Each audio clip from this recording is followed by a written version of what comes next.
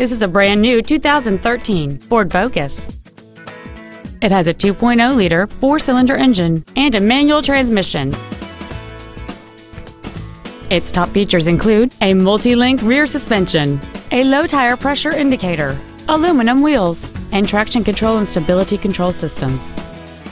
The following features are also included air conditioning, cruise control, full power accessories, a six-speaker audio system, a four-wheel independent suspension, an illuminated driver's side vanity mirror, privacy glass, dusk sensing headlights, a keyless entry system, and an auxiliary power outlet.